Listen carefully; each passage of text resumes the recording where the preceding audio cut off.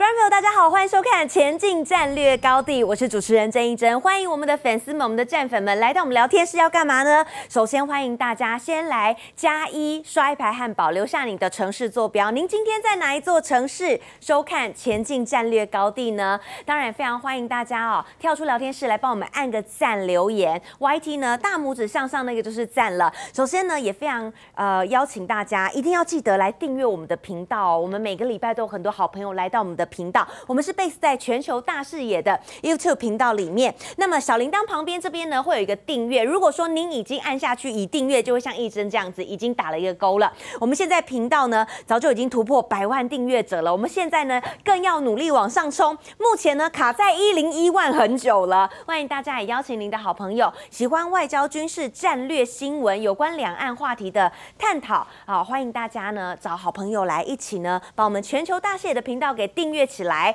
那么再来呢，有好康要报给大家了。我们现在呢，想看我们的新闻啊，除了在 YouTube 频道之外呢，还有一个办法，就是呢，下载中天新闻网的 APP，让你抽奖、抽大礼、抽机票。我们真的有好朋友抽到机票，我当时看到的时候，哇，我也是替他高兴哎。首先我们来看一下这个礼拜抽什么呢？啊，不论你是苹果手机、安卓手机都可以下载，你就搜寻中天新闻网 App 就可以了，完全免费下载，订阅、按赞都是免费的。好，七大好礼，其中呢，每个礼拜大家最期待就是这个礼拜机票抽哪里？来告诉各位，这个礼拜呢，英达旅行社为大家准备了越南胡志明市的来回机票。那么当然有很多乐园的票啦，或者是运动项目啦、博物馆等等的折价券，以及小七咖啡。好，欢迎大家给我们五星好评哦。输入推荐代码的部分呢，一针是 CTI 六二六，我的生日，然后也有我们很多小编、我们新闻团队的代码，那我们也在标题上上给大家，欢迎大家一起帮我们冲人气。好，再来呢，让你拿奖金，总奖金六百万，没看过。这个活动可以办得如此的盛大，而且已经第三届了。我们旺旺校青奖一律都是线上报名，欢迎所有的全球华人都可以来报名。喜欢音乐的、词曲创作的，来赶快发挥你的创意，结合孝顺的理念，一律线上报名。暑假最后一天之前都有机会。好，台湾海外地区的朋友报名，扫描 QR code；大陆地区朋友报名，请扫描 QR code。那么有词曲组、有短影片组，十月一号公布获奖名单，第一名。名呢，总共有三名哦。讲座加奖金四十五万台币，这个人民币大概有十万块钱喽。好，邀请大家共享盛举。马上进入我们今天的节目主题啊。最近大家都在探讨两岸的议题啊，我们也可以发现。哦，最近呢也蛮多军演的。首先，我们先来介绍我们棚内的三位重量级来宾。今天非常荣幸邀请到了国际时事专家，也是前立委蔡正元蔡委员。主帅好，大家好。还有我们帅化明帅将军。大家好，前空军副司令张安廷张将军，主持人好，大家好。首先，我们先从八一建军节来看，现在应该说接下来、过去跟接下来，呃，中国大陆他们会采取什么样的？方向呢，在军事的部分，首先我们先看哦，呃，最近的呢就是二零二三年的八一建军节了。那习近平主席呢到了西部战区去视察，同时呢提出了五个要点，我们就来看这五个要点到底里面透露出什么样的端倪呢？首先第一点，要贴紧啊，紧贴任务需要，然后深入推进军事斗争准备。好，第二点要周密的组织日常防空。第三点，推动新装备、新力量，加快形成战斗力。来，第四点也很重要，统筹航空兵部队及地导雷达、电子对抗等部队发展。第五点，坚持不懈的要这个实战化的军事训练。实战化军事训练，好，这是今年的。那去年的时候呢，一样八一建军节。那么中国大陆透露出什么样的讯息呢？去年是奋力实现建军一百年的奋斗目标，今年是建军第九十六年，距离一百年很快就要来到了。他说，不断的开创强军事业的局新局面，为了实现中华民族伟大复兴。提供战略支撑，在去年的时候呢，还没有讲的那么明白，在今年直接五点都来了。蔡委员，您怎么看呢？这五点分析，习近平主席他有三个身份，他是中华人民共和国的国家主席，他是中国共产党的总书记，他是 中华人民共和国啊这个军事委员会的主席，同时也是中国共产党军事委员会的主席。那对于一个军事委员主席，其实就是三军统帅。那这三军统帅又是国家元首，所以是国家元首，哎，也是三军统帅，也是执政党的领导人。他对于军队讲话的任何讲话稿，一定是经过军事委员会详细的规划过才提出来的。所以你不能把它看作一个好像是随心的鼓励啊士兵的讲话，它一定有很深的含义。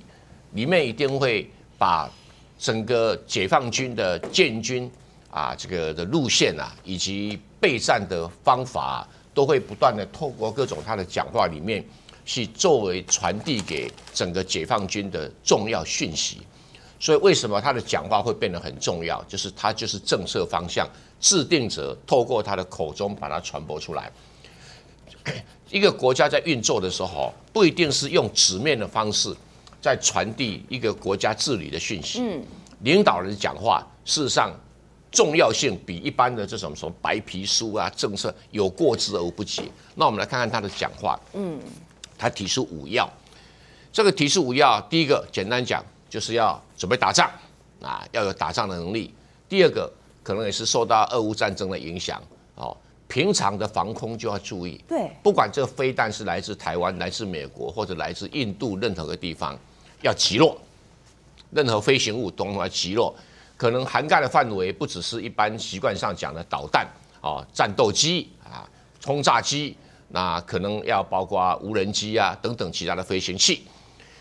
第三项呢，表示说解放军的军工产业后面有了新装备、新力量，这种新装备、新力量投入这个要快速形成战斗力，那最标准的就山东舰嘛，对对，或者未来的福建舰。只要你成军，要很快有这个战斗力，要形成战斗力啊！他们两位前辈啊，大师在这里哈，我就是哎画蛇添足一下，他基本上就不断的演习吧，是是，就这个你不演习就很难形成，你你不可能真的找到对象来打仗嘛，嗯啊。第四项的，它是稍微比较细一点呢，就是要统筹航空兵部队，呃，这个最近他们海军的防空部队啊，已经全部都。移给空军了。对，他们以前的的分配的方式，海军有庞大的航空兵的人力，现在好像大部分都移给空军去运作。那好，这个地面的导弹啊、雷达、电子对抗等等，既可以进攻又可以防守的。啊，最第五个是军事目标啦。对。军事训练要实战化，嗯，看看俄罗斯怎么打，乌克兰怎么打，我们不能关起门来根据教案、根据规划打。嗯俄罗斯哈最近呢跟跟北约都很糗，两方面做了很多规划，到战场上面去都不管用，一直在修改、在调整啊。那个帅将军会说这是学习是吧？啊，真的是这样的。是。原先的作战计划，哈，几乎我我看过俄罗斯的报道，无人机嘛，那现在有无人机了。俄罗斯的的自己就铺路，他说我们的作战计划曾经一天改五次，我都不晓得一天改五次的作战计划怎么打，表示他们面对了新的情况。以前的士兵，包括连指挥官哈，那个营指挥官哦，旅旅旅指挥官哦，可能都没有面对这种新的状况，啊，所以。双方面都在学习，北约也是一样啊。北约说我训练九个旅，哇，好厉害呀！啊，什么什么这个豹二啦，什么布雷战车啦，碰到乌兰打到现在怎么样？前进三公里，我在当场晕倒，死了两万人，前进三公里。然后指挥官频频被撤换，俄罗斯也一样哦，俄罗斯外频频被撤换哦。嗯，所以表示很多面对新的状况哈，这个应该怎么计划赶不上变化，对啊。所以这个实战化是一个军队最严厉的考验。我们假设说这样打是对的，就到了战场上面全部推翻掉了。那所以那个反应就变得很重啊。这个可能请他们家两个有实际经验比较清楚。这种临时调换哦，你哎呀，这个实在看到那种战争很恐怖，已经死人死一堆了，才开始改变作战计划哈，很可怕。所以习近平可能有鉴于此，我最终的目标是一百年奋斗目标，建军一百年。其实到了吧？对，这种目的是在中华民族的伟大复兴，要有一个很强有力的军队来护航。哦，那其他的可能就是李尚武他们要去执行了，国防部长呢，各军种的司令、各战区的司令就要去，司令员就要去面对这些问题了。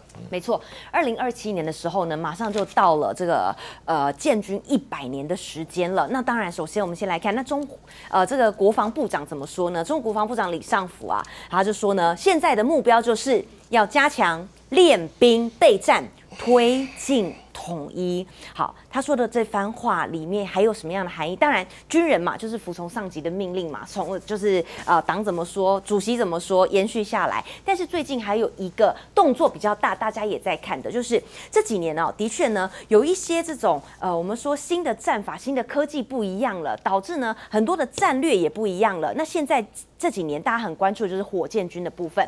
那么中国大陆呢，最近啊蛮大动作的，有人说是在整肃啦，有有人。说之前的这个火箭军的高层啊，可能涉及贪腐或泄密等等的，然后就被换掉了。好，这一次呢，据说是跨军兵种的升级进衔。好，火箭军的高层换马。首先，我们来看这位是徐熙胜，原本他是南部战区的呃副政委，以及南部战区的空军政委，他现在是火箭军的政治委员。还有这位王厚斌，他是解放军海军的副司令员，现在是火箭军的司令员。那么这样子的换将，有人解读是不是用人为忠，要有一个信任呢？不见将军怎么看？不见信任啊。嗯，跨军种换领导，对，有我们有个潜力可循。你记不记得，民国三十八年、三十九年，我们军舰什么重庆号投共中共嘛？有没有？所以那个时候海军总司令就换陆军的桂桂永清来整顿。就是整顿，空军也换过赖明汤来整顿，对不对？所以这个东西就是说，你就是你讲的中字啊。第二个，他没有整顿里面的贪腐啊，他没有包袱，我肯下重手，不会官官相护，这是一种看法。哦。另外一种看法呢，在战术上来看呢，因为火箭军面对两个任务嘛，一个是要拦截美方、日本的舰只。要打掉他的船，嗯，所以海军的来跟对对方的舰船的攻击，他是不是有点研究？对，那这个空军的，他是要配合空军的轰炸，消灭台湾的雷达站，跟他也也可能有所指导。所以就是说，从战术面他也有这个理由，从内部整顿也有这个理由。但是我比较重这个不重要，我要重视前面讲的话，嗯。习近平讲的话不是说我们像很多政治人物开个空头支票、前瞻部署、前瞻什么计划。前瞻计划。他这个讲这个话跟他的实际的行动，我们看得出来。对。你看我们最近三年共共居的绕台，三架五架，到后来十架十二架，三十几架，干嘛？这联合作战的实战经验呢。是。这个时候要配合电战机、电侦机、反潜机、这个轰炸机。空优的这个歼二十，这就是慢慢接近实战了。第二个，为什么二零二七这五年，为习近平是暗示了建军一百年就是二零二零二七嘛？对。为什么美国也在喊二零二七？你要看啊，它的建军的速度啊，你看它现在，我们最担心的是它登陆作战嘛。登陆作战，它现在已经有四万吨级的、六万吨级的，四万吨级的有四条。那其他小的吨级三千吨级的有一百多条，但是呢，他为了确保登陆成功，他是不是还在做？那个四万吨级的后面还有一条在做，那还有四年是不是还在做？嗯，对不对？他这个这个登陆的战力是不是增加？空军对，他一年产八十架歼二零，现在是两百架，五年以后呢，就变六百架了。所以这个力量就是说，他就认为可以。收复台湾，在军事上的准备，对，是大致完成嘛？你看航母，辽宁号也把它改成有战力的，嗯，对不对？山东号已经服役了，对，福建舰马上要下去了，马上要下水了，嗯，后面这四年时间还有没有另外一条？绰绰有余。所以将来就变成五条航母啊，嗯，五条航母做南北的这个阻截美日的这个增援，它力量是足够了了，是，它一。南北各摆两条就够了嘛，所以你我们看他建军的速度，你看他的呃零五大区又要做十条，是，零五二的又要做十条，那就增加二十条飞弹驱逐舰，这刚好配合它四条到五条的航母，它是不是战力完全完备啊？哦。所以慢慢越来越看呢、二零二七是一个关呢、政治上讲啊，建军一百年，解放军献给习近平是收复台湾，对，这个大理，2027对不对？是一个关哎，对，就我觉得嗯二零二七是有个关，因为从他现在的不停的军演，跟俄国也军演，自己也在军演。军演呢，就是说，因为弥补他没有实战经验的新创的这些船、舰、炮，所有的东西。那从单兵的演习，像我们以前部队里面五五教练，三个人五教练，然后十二个人的班教练，然后再进步到排的教练、连教练，他是组编组越来越大，越来越大就越来越困难。我跟你讲，搞这个三军联合演习是非常困难，因为协调的问题很大，link 的问题很多，长官跟部署的默契很重要。对，对不对？没有默契的，真的电话里讲半天讲不清楚。那有默契的，十个眼色都知道是要干什么。但现在中国大陆已经已经可以跟俄罗斯连语言不太一样的也可以，跟俄罗斯演习的话，就也有海空了。不是让你日本，你不要给我乱动。嗯，他跟俄罗斯两个的这个军演就是警告日本的，日本你要估量一下，你到这边来面对的解放军，北边还有俄罗斯的东西，所以二零二七我越看呢，是越是一个，他到了一个某个程度，就是现在可以打，他损失比较大，对，但是他练熟了，他打他战果丰硕，他损失比较小。任何一个军人都希望我自己损失的最小，能够获得最大的战果。嗯所以这个东西，我觉得他司令员换不换对我来讲不重要。对，我我都很注意他的政治上也也在想百年，刚好是他的后面两任里面的一任，他不总不能到最后交差的时候再来武统台湾嘛。对，当然打不打国际政治有关系，但是这个是代表他习近平要求之下，他的军队已经完成打仗的准备，就是。他已经准备好，他可以不要打，但他已经 ready 他就是要 ready，、嗯就是说我造了船、造了舰、造了炮、造了飞机就能够完胜的这个兵力啊，训练也要这时间加强，所以他现在还有空来关照防空呢。以前我们打仗都喜欢猛往前攻，后面的东西他现在都考虑到，就是说你美国要干预的话，他要他要做这个事情。嗯哼好，中国的建军啊，中国的造舰啊，我们可以看到了中国的大战略啊，它不求快，但是它 SOP 慢慢来。那现在呢，已经到了一个非常关键点，你知道，对中国人来说，一百这个数字呢是会有很大的转变，这个数字是非常重要的，所以。而且习近平在去年的时候就已经告诉大家喽，建军一百年奋斗目标，想当然尔哈。中国的建军呢，他们是有他们的循序渐进的。好，一百年，他们的目标会是什么呢？接下来今年五点已经告诉大家了。然后呢，如同帅将军所说的，这些都不是只是喊喊口号而已，而是真正在落实。来，接下来我们就来看大陆央视一样在八一建军节的时候就曝光了山东舰穿越台海的画面，以及歼十五舰载机挂。弹起飞。那么当时候还访问了这个呃飞行员郑子谦，他这样告诉大家，他说呢。每一次起飞都是战斗起飞，是随时准备作战的。而且呢，山东舰呐、现在呢，呃，很多专家都在分析啊，它上一次在四五月的时候呢，已经接近关岛了啊，已经到了这个出第一岛链了。未来呢，这样的演习只会更多，不会更少。对这个山东舰，它这个起飞的外形，它上面挂的弹是霹雳的空对空的飞弹。它空对空的飞弹，它就是强强调这个制空权。如果它放的是对海打击的，还有对地攻击的这些飞弹的话，又不一样，会比较重。空对空飞弹比较轻，因为它强调的就是只要打飞机就可以了。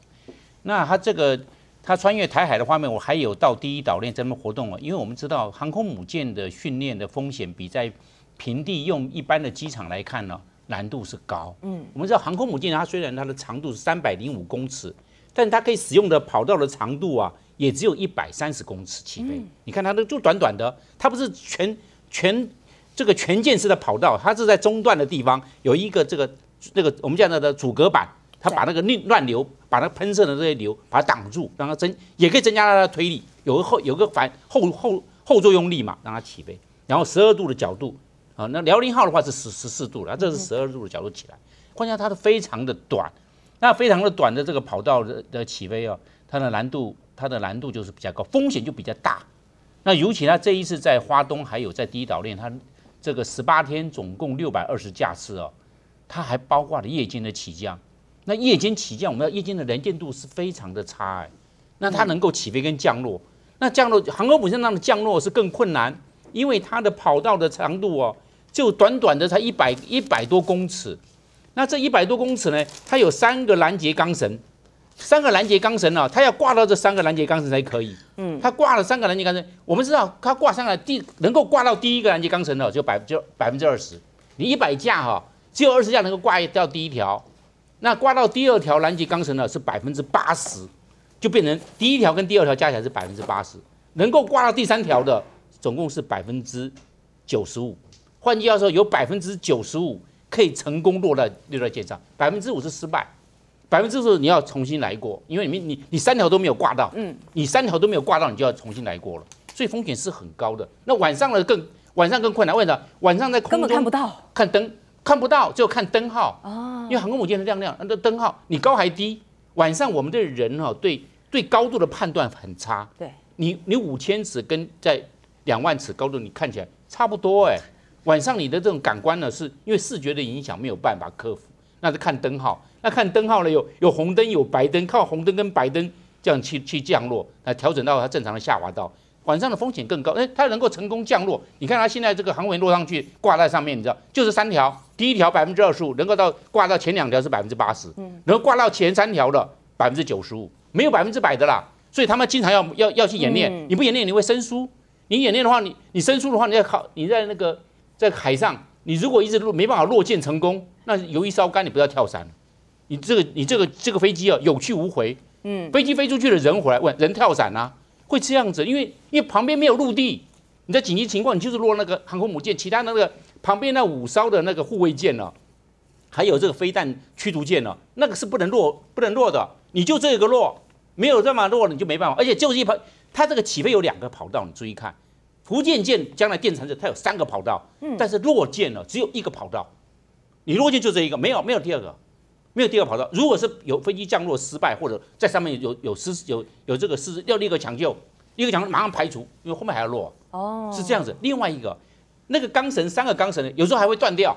你不是一直挂挂，就这个不会故障的哦。有时候会故障，你故障你还剩两条，变成这个状况。所以你那个要求的精准、困难度、风险度都很高。另外一个就是后勤保障要做得好，因为海上我们知道湿度、盐度很高，对发动机、对飞机、对电子舱。对这些电站设备、对飞弹、武器系统都会影响很大。嗯，那他这样，哎呀，我感觉要出来这六百二十架次没有坠毁，哎，没有意外重严重的这个意外事故没有，哎，换句后勤保障也到达一定的水准。所以啊，我们都要讲啊，所以料敌从宽呐，或者是这个律己从严哦，我们要认为在这一方面，中共在这个训练这一方面，远洋训练，还有航母的起降训练，包含夜间的这个 这个落舰起落舰的训练，都要到达一定的水准了，要不然会发生飞安事件。所以，我们来拿这个飞安事件的这种这种可靠度，呃，这个严谨度来衡量它的战力值。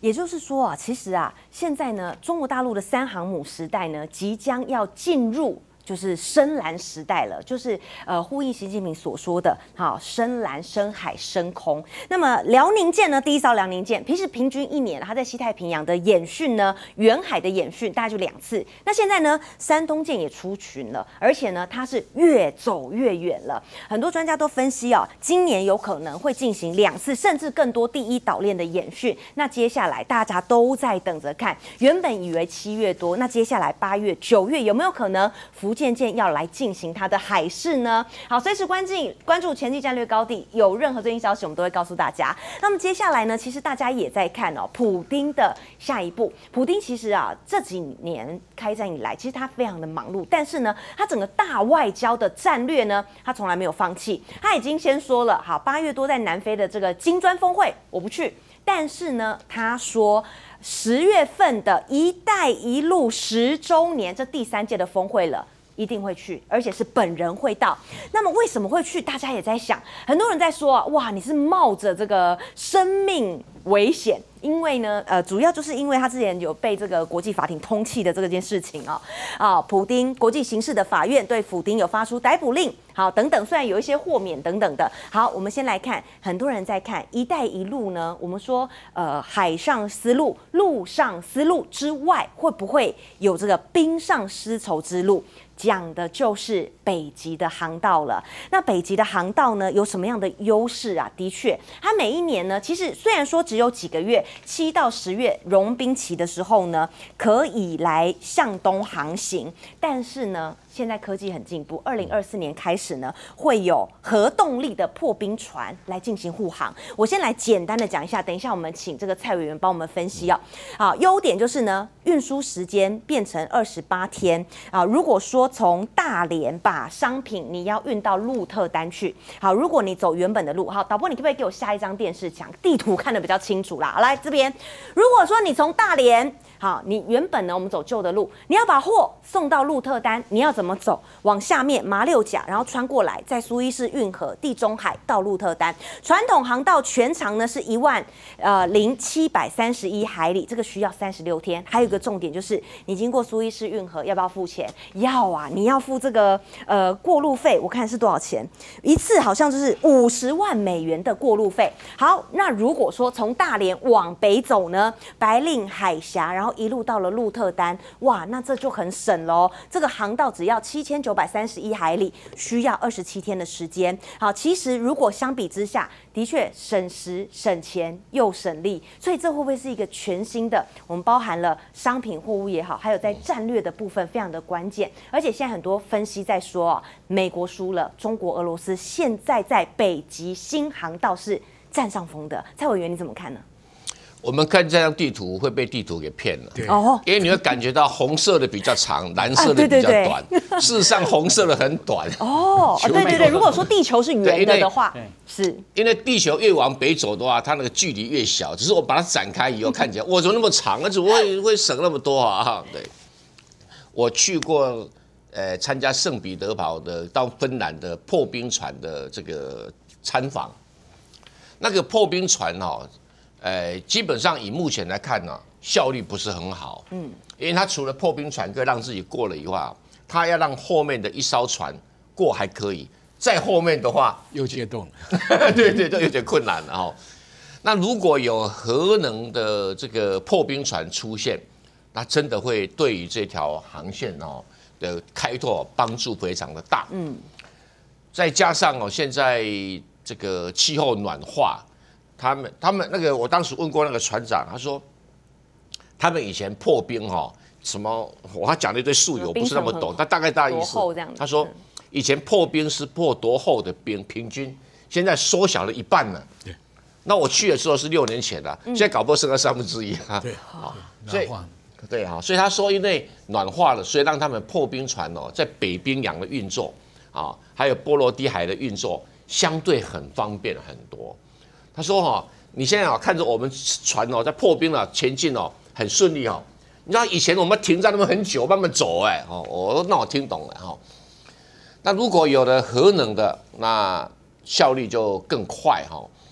对于这个中国大陆到欧洲，如果能够走北冰洋航线，嗯，啊还没到北极了哈，还到北极，但离北极还有点距离。嗯，北冰洋航线的话，那就是一个大突破，嗯。”大突破的地方就是说，除了俄罗斯的西伯利亚的开发帮助很大，对中国东北地区的帮助也会非常大。因为现在中国东北地区的东西要运到欧洲哈，我的老天爷啊，不要经过几个海峡，经过几个空间，还要被美国人所控制。那北冰洋哦，美国人真的拿他没办法。嗯，你你能干嘛？走的路线都是俄罗斯的土地啊啊！而且俄罗斯的。北冰洋哦，它的北海舰队哈，大概可能是目前在极地地区最强大的舰队。美国的你说航空母舰啊什么，大部分都是在温带运作，在热带运作。它在北冰洋运作的这种船舰，就是刚才那个我们的 张司令讲的哈，就是你船的设计哈，它本身你要面对多少的盐分，多少的这个海的气候，可是俄罗斯啊，北冰洋舰队纯粹都是为了北方的而做的，啊，北方做的，很耐所以他们很耐寒寒啊。那这个对于哈未来哈中国大陆别的不会造船很行，重新设计北冰洋所用的啊这些轮船呐、或者也这些这些货轮呐、它会有很高很高的优势。那这个冰上丝绸之路哈，你现在讲是说二十七天跟三十六天，看起来只有九天的时间。依我看哦，那是因为现在北冰洋的航行的速度它估的比较慢，嗯，哎，这个速度只是会越来越快，不像哦传统的航道你也快不到哪里去啊，嗯，啊，它已经有个平均的航速在那一边了。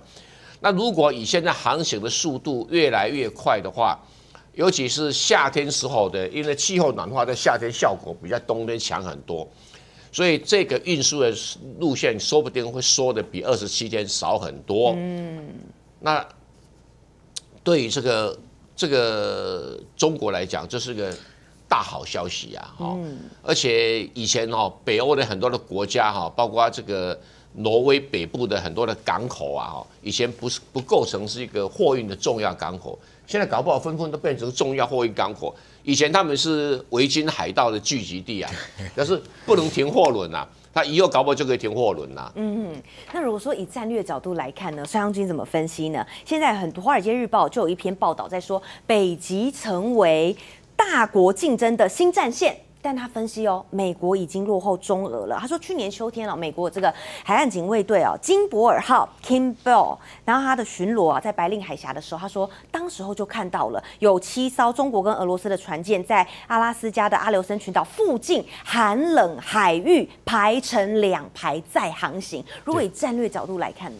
因为北极的战略角度，第一个是讲空中的攻击距离短了，因为地球圆的嘛。对，如果从北北边这边射飞弹，就可以达到美国的中西部，甚至于到它的东部、西海岸的打。所以这是第一个攻击的路线。第二个，北极航道开了，刚刚就是蔡委员讲了航运，因为航运呢，中国大陆的一带一路铁路有一条，海上丝路现在并没有完全通啊。嗯，为什么搞这么多航母呢？就是要护航。要护航，因为马六甲海峡老共可以卡你，对不对？哎，美国可以卡你，然后这个到了这个越南呐、这边呐、菲律宾呢，都说不定美国会部署，然后到苏伊士运河又要抽税，也可以卡你。对。所以海上丝路的话，我现在多了一条航运的水运的这条路。第三个，极地里面开发的东西是你想象不到的，但是也有风险，就是说。解冻的冻土里面有没有病毒你不知道，远古的病毒，但是也有很多地下的所谓天然气啦、矿特殊金属的矿石啦，这些因为现在暖化以后裸露出来的土地很多，所以其实北北洋的这个北冰北边的这个北极的开发，早在五十年前，是俄罗斯就在那边有基地了。后来新新兴的力量是中国大陆也在拼命搞这个，搞这个当然跟俄罗斯是合作的嘛。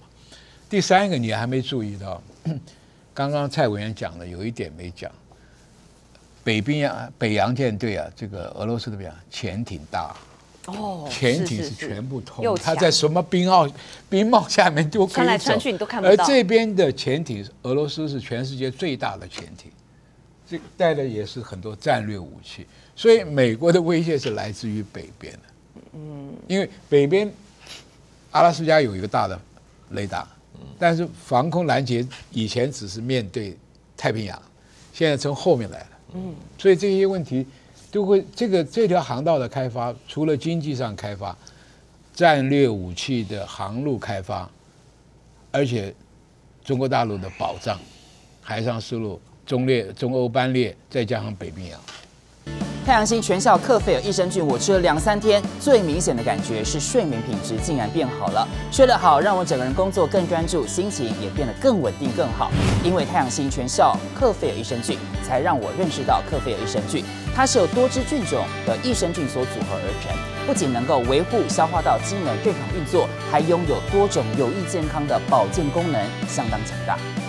你知道吗？有台大教授专门研究它，称它是神仙的礼物。上千篇的国际研究证实，克菲尔益生菌不仅帮助肠道健康，肠道菌透过肠脑轴影响全身器官，所以维持肠道菌丛的平衡是解锁身体健康、精神健康的钥匙。对帮助睡眠、维持好情绪真的很有感，也因为这不是药，有季节敏感、代谢困扰、关心恶性细胞风险的好朋友，选择太阳星全效克菲尔益生菌，做好日常的保养，身体健康没负担。每日克菲尔时刻美好，Good Feel Feel Good，请上快点购健康下单，输入我的推荐代码有额外的折扣。